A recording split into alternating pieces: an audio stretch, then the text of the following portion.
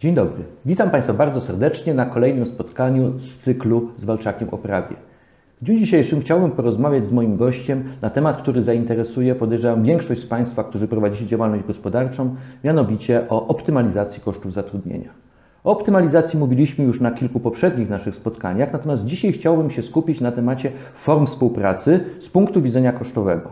W tym kontekście bardzo ciekawym pojęciem jest kwestia zatrudnienia zewnętrznego, o którym chciałem porozmawiać z moim Państwa gościem, jakim jest dr Maciej Hakowski, partner zarządzający kancelarii CIC Hakowski-Ciszek. Witam Cię, Maćku. Witaj, Krzyśku. Maćku, pierwsze podstawowe pytanie. Co to jest zatrudnienie zewnętrzne, o którym wiele się mówi, natomiast tak naprawdę nie ma jednoznacznej chyba jego definicji? Tak, rzeczywiście, definicji żadnej formalnej nie mamy, ale zatrudnienie zewnętrzne jest to niejako e, formuła biznesowa korzystania z zasobów pracy, nie swoich. Nie mamy ludzi na umowach o pracę, nie mamy ludzi na umowach zlecenia. Mimo tego ludzi do pracy mamy. Czasami nimi kierujemy, czasami nie kierujemy. Każdym razie jest to zasób y, zewnętrzny, nie ponosimy kosztów y, bezpośrednio ryzyk osobowych, tutaj ryzyk prawnych, więc jest to taka dosyć często teraz wykorzystywana formuła właśnie uelastyczniania zatrudnienia w firmach. Dobrze, w takim razie jakie są przejawy zatrudnienia zewnętrznego? Tak naprawdę możemy podzielić w Polsce zatrudnienie zewnętrzne na sformalizowaną część, czyli pracę tymczasową, opartą na ustawie o zatrudnianiu pracowników tymczasowych i tą niesformalizowaną, zwaną outsourcingiem, czasami outsourcingiem pracowniczym, a czasami outsourcingiem procesowym. No i to mhm. pojęcie oczywiście bym zdecydowanie tutaj wolał. E, I jest to ta część tego w ogóle biznesu, właśnie tego zatrudnienia zewnętrznego, która nie jest wyraźnie ucywilizowana prawnie. No troszeczkę to można by powiedzieć, że to jest taka wolna amerykanka, mhm. oparta na swobodzie umów, swobodzie działalności gospodarczej.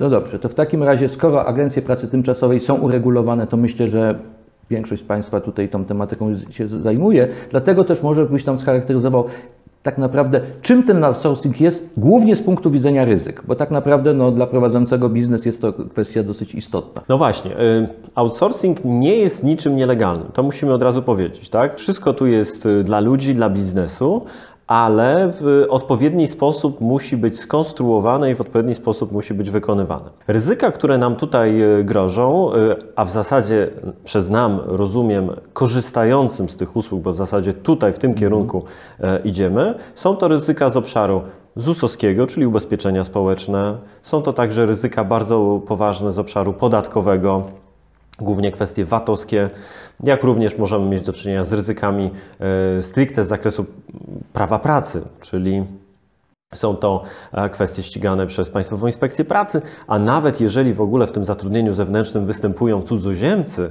to możemy mieć także kłopoty na przykład ze Strażą Graniczną. Dobrze, to w takim razie może byś nam przybliżył, które Twoim zdaniem y, z tych ryzyk są największe? Na co trzeba zwłaszcza zwracać uwagę, biorąc pod uwagę no, odpowiedzialność podmiotów, które chciałyby z tej współpracy zewnętrznej korzystać? Ja myślę, że jeżeli tak w ogóle możemy oceniać z punktu widzenia tego, co jest najgroźniejsze wśród tych ryzyk dla podmiotu korzystającego z usług outsourcingowych, kiedy nam się nie powiedzie, prawda, ten mhm. model outsourcingowy, no to są na pewno ryzyka podatkowe. No tutaj głównie chodzi o kwestie mm, kwot, y, które mogą nam grozić. Głównie tutaj chodzi o y, tak zwane położenie y, modeli VAT-owskich.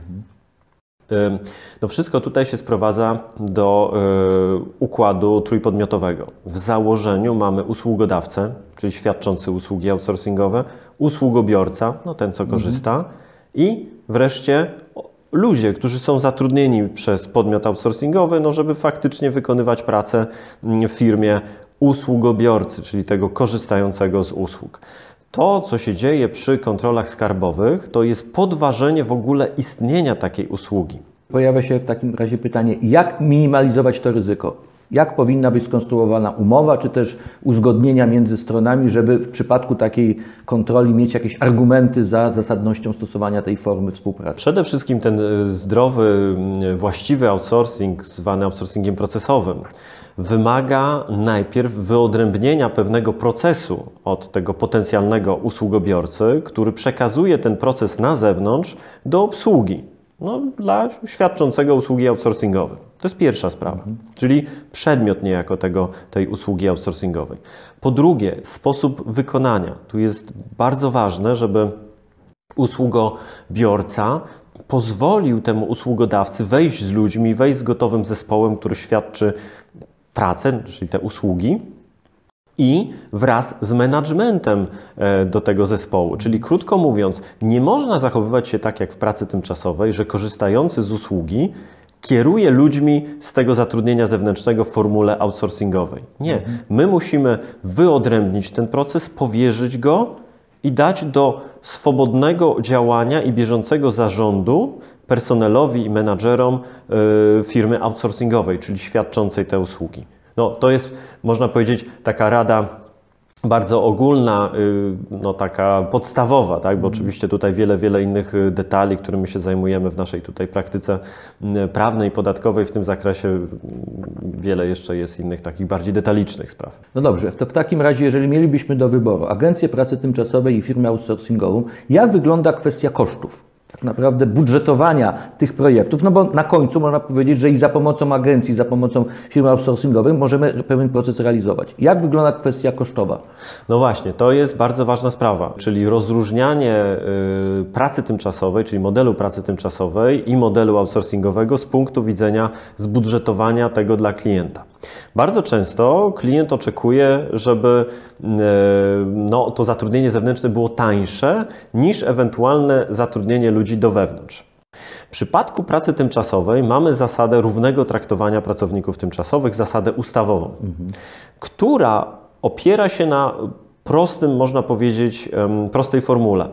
Musicie w agencji zapłacić tyle waszym ludziom, waszym pracownikom tymczasowym, ile my płacimy odpowiednikom tych ludzi, czyli z punktu widzenia stanowiska profesji, u nas, e, czyli u pracodawcy użytkownika, czyli tego korzystającego z usług. No, plus jeszcze do tego dochodzi marża oczywiście agencji pracy tymczasowej, bo nie jest to działanie pro bono.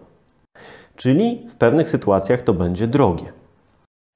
Outsourcingu nie mamy zasady równego traktowania rozumianej w taki sposób, tak szczególny sposób jak w pracy tymczasowej, czyli krótko mówiąc, ograniczają nas prawa rynku. Czyli jeżeli przyjdą do mnie, do firmy outsourcingowej ludzie danej profesji, pracować za tyle i tyle, i oni się na to godzą, oczywiście pilnujemy minimalnego wynagrodzenia, bo to musimy, oczywiście, to spokojnie możemy iść i wykonywać tymi ludźmi usługę u klienta, którego ludzie, odpowiednicy moich ludzi z firmy outsourcingowej mogą zarabiać o wiele więcej. Problemu prawnego nie mamy, jeżeli oczywiście ten outsourcing jest outsourcingiem, a nie jedynie pracą tymczasową, no przykrytą taką, takim płaszczem, prawda, pozorów, że to niby jest coś innego, niby jest to outsourcing, tak? No to wtedy oczywiście e, nici z naszego pomysłu właśnie takiego budżetowania w oparciu o korzystniejszy outsourcing. Jak widzicie Państwo, kwestia form zatrudnienia jest tematem bardzo otwartym. Nie ma obowiązku zatrudniania pracowników na podstawie umów o pracę. Istnieje również w Polsce możliwość stosowania modelu elastycznej firmy, która zakłada, tak jak dzisiaj żeśmy rozmawiali, możliwość współpracy z podmiotami zewnętrznymi. Najważniejsze jest to, że nie ma w Polsce zasady, zgodnie z regułą swobody umów, co nie jest dozwolone, jest zakazane. Musimy stosować zasadę odwrotną, co nie jest zakazane, jest dozwolone, przy oczywiście uwzględnieniu podstawowych standardów, o których żeśmy dzisiaj mówili. Moim Państwa gościem był dr Maciej Hakowski. Dziękuję Państwu za uwagę i zapraszam do śledzenia naszego profilu na LinkedInie, a także do komentowania naszego dzisiejszego wywiadu.